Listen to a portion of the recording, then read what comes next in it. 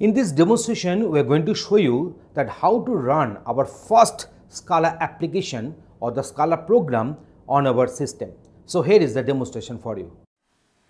Here we shall create one Scala uh, project and then under the Scala project we shall create one Scala object and then we shall show you that how to execute that one. So going for this file and then new and then Scala project. So here we are using the Eclipse IDE. So going for the name as first program. So Java SE 1.8 is selected here going for finish. Under this one going for this SRC and here we are going for this new and Scala object. From this Scala object also you can select Scala class, Scala trait, an object and so on. Giving this name as test my class 1. Giving this name as test my class 1. Now going for, going for finish. The respective object has got created. Now going for main control space and here we are creating the main function so def means defined function so here we are having this define main and then we are having this args array string so it is prepared to take the command line input arguments.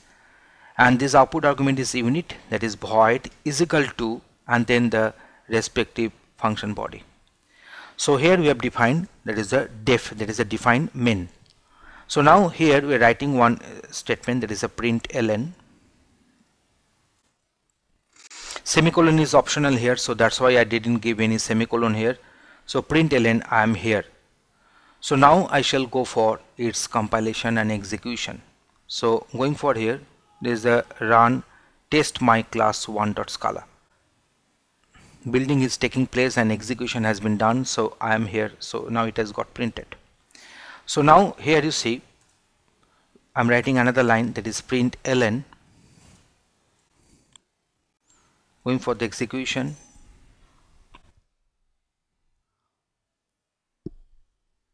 so I'm also here. So in case of Scala the comment line can be single line comment can be done using double slash in this way. So this is a comment line. So you see if I execute this one that line will not be executed because it is a comment line.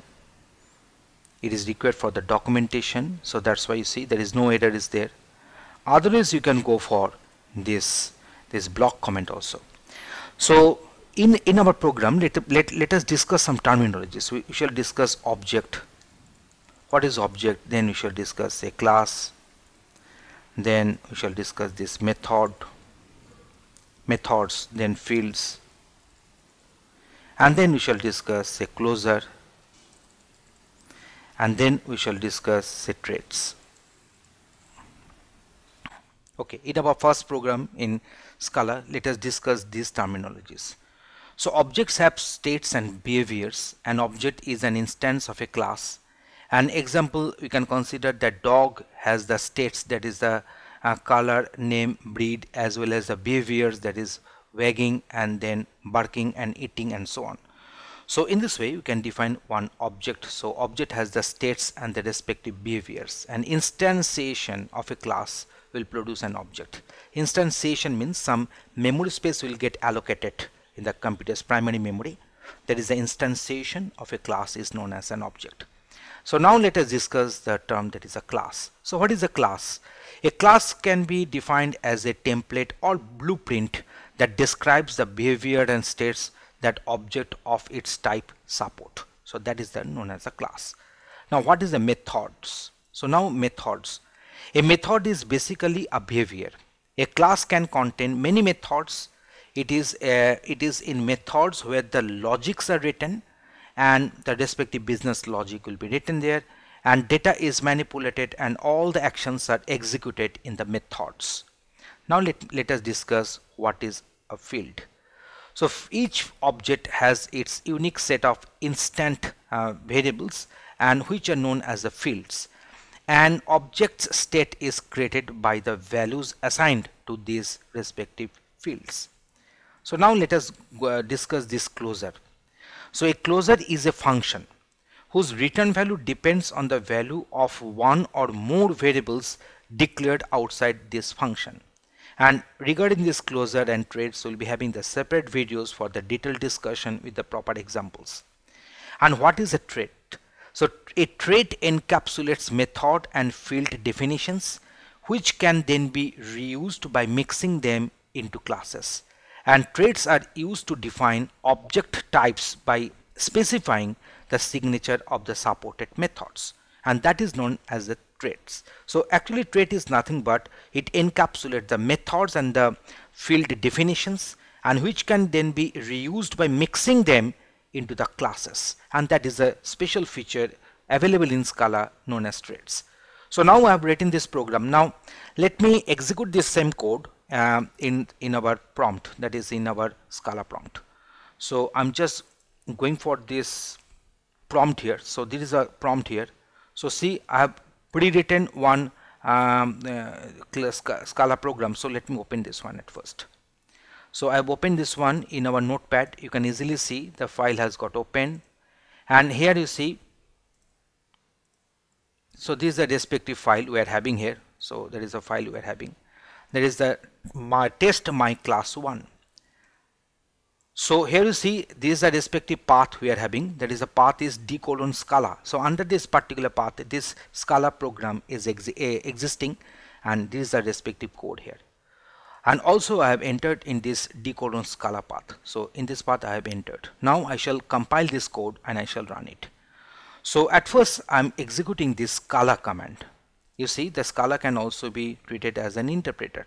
So here you see I've written scala not scala C not like your Java C but here it is something like your Java that is a virtual machine. So now here we have used this Scala and then typing the file name.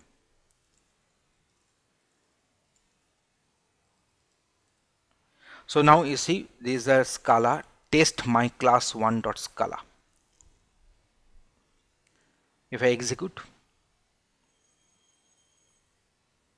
I am here it is getting printed.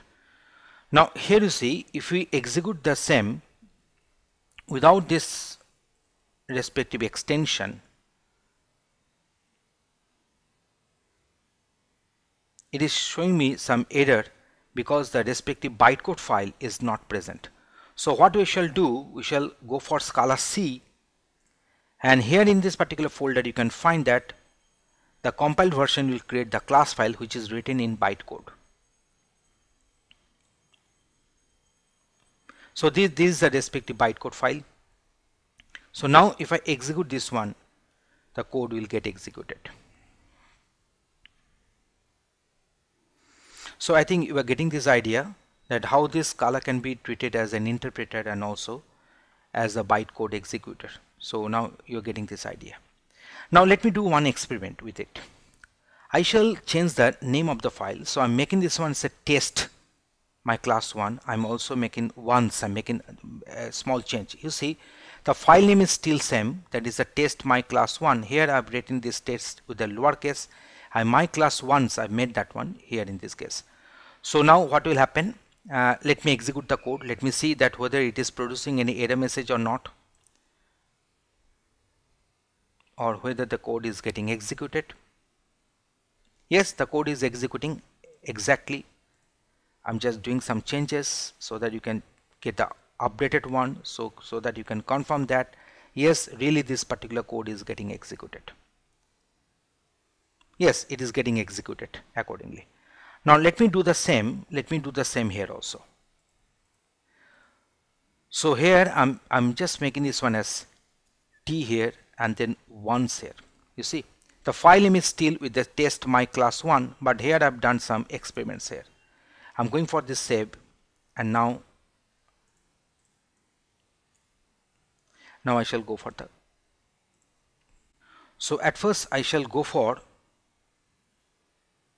this is a scala. My test my class 1 dot scala. So you see the code is getting executed.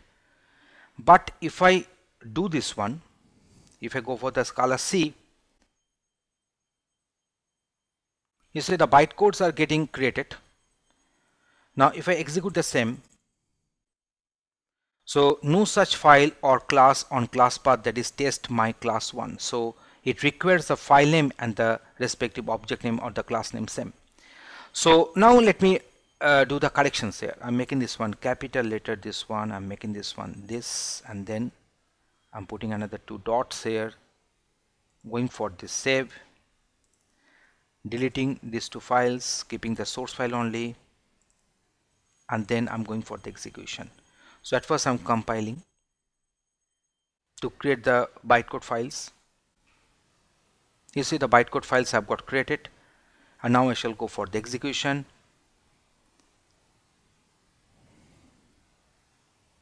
the program is executing fine so in this way I have shown you that how this program can be executed in the in the um, respective command uh, window and also using the Eclipse editor. Thanks for watching this video.